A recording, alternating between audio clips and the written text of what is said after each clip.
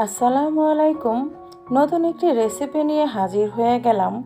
আজ আমি আপনাদের তৈরি করে দেখাবো পাঙ্গাস মাছ ভুনা। অনেকেই পাঙ্গাস মাছ খেতে চান না, গন্ধ আসে বলে। কিছু ট্রিপস অ্যান্ড ট্রিক্সের মাধ্যমে শেয়ার করব কীভাবে রান্না করলে পাঙ্গাস মাছ থেকে আর কোনো গন্ধ হবে না, আর খেতেও হবে ভীষণ টেস্টি এখানে আমি নিয়ে নিয়েছি পাঙ্গাস মাছ, আর এই পাঙ্গাস মাছটা কিন্তু তিন থেকে সাড়ে তিন কেজি ওজনের ছিল। খুব বড় পাঙ্গাস হলেই কিন্তু খেতে বেশি ভালো হয়। তো মাছটাকে আমি ভালো করে ধুয়ে পরিষ্কার করে কুসুম গরম পানি দিয়ে কিন্তু ধুয়ে পরিষ্কার করে নিয়েছি। কুসুম গরম পানি দিয়ে ধুয়ে পরিষ্কার করে নিলে কিন্তু মাছ থেকে আর গন্ধ আসবে না। আর এখন দেখিয়ে দিব এই এক টুকরো লেবু দিয়ে কীভাবে মাছের গন্ধ দূর করবেন।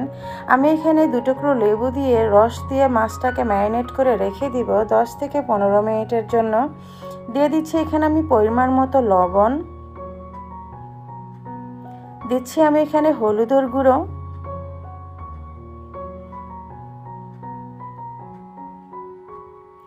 লাল মরিচের গুঁড়ো দিয়ে দিচ্ছি। এখন ভালো মতো হাত দিয়ে এই মশলার সাথে মাছটাকে ভালো করে মাখাতে হবে। আর মাখিয়ে আমি দশ থেকে পনেরো মিনিটের জন্য রেখে দিব। এইভাবে আপনারা মাছটা রান্না করে দেখবেন, লেবু দেওয়ার ফলে কিন্তু আপনার মাছ থেকে কোনো একটা আষ্টে গন্ধও আসবে না আর খেতে কিন্তু খুব ভালো লাগবে। আর যেই মাছগুলো ফ্রিজে থাকে ফ্রিজ থেকে বের করে খেতে ভালো লাগে না, সেই মাছটাও যদি আপনি এভাবে করে রেখে তারপরে রান্না করেন, খুবই টেস্টি হবে আর ফ্রিজের কোনো গন্ধই কিন্তু লাগবে না। আজকের মাছটা আমি ভেজে রান্না করব, তো আমি পরিমাণ মতো তেল দিয়ে মাছটাকে একটু উল্টে পাল্টে ভেজে নিব।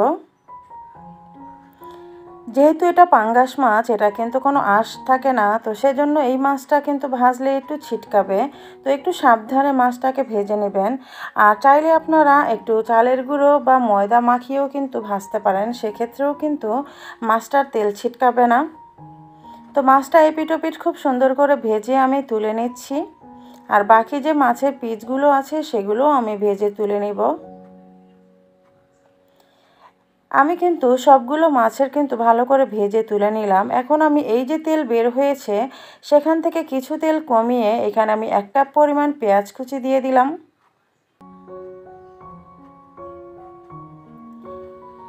পেঁয়াজটা যখন একটু হালকা ভাজা হয়ে যাবে, সেই পর্যায়ে আমি এখানে দিয়ে দিলাম হাফ কাপ পরিমাণ টমেটো কুচি। আপনারা এখানে টমেটো পেস্টটাও ব্যবহার করতে পারেন। দিয়ে দিচ্ছি এখানে আমি স্বাদ মতো লবণ। লবণের সাথে পেঁয়াজ আর টমেটোটাকে একটু ভালো করে নেড়ে চেড়ে একটু ভেজে নিব। এখানে আমি দিয়ে দিচ্ছি পেঁয়াজ বাটা। পেঁয়াজ বাটাটা দিলে কিন্তু গ্রেভিটা খেতে খুব টেস্টি হয়। আমি এখানে তিন টেবিল চামচ পরিমাণ পেঁয়াজ বাটা দিয়ে দিলাম।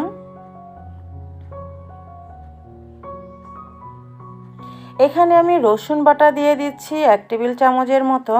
আর আদা বাটা দিচ্ছি আমি এখানে ওয়ান টিস্পুনের মতো। অল্প একটু পানি দিয়ে দিলাম, কারণ এই মশলাটা আমি আগে কষিয়ে নিব। কারণ পেঁয়াজ রসুনের একটা কাঁচা ফ্লেভার থাকে, সেটা না যাওয়া পর্যন্ত আমি একটু ভুনে নিব। এই পর্যায়ে আমি এখানে হলুদ গুঁড়ো দিয়ে দিলাম।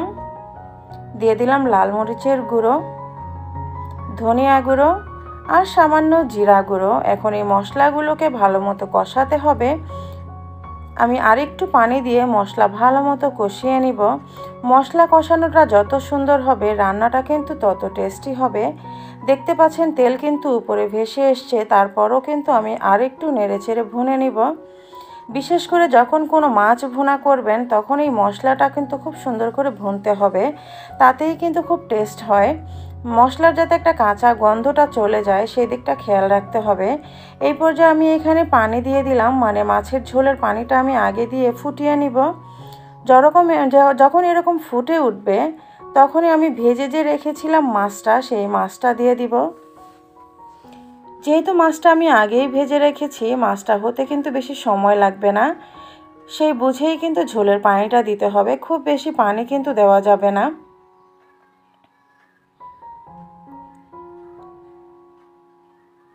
কিছু আস্ত কাঁচামরিচ দিয়ে দিচ্ছি শুধুমাত্র ফ্লেভারের জন্য, এতে কিন্তু কোনো ঝাল হবে না।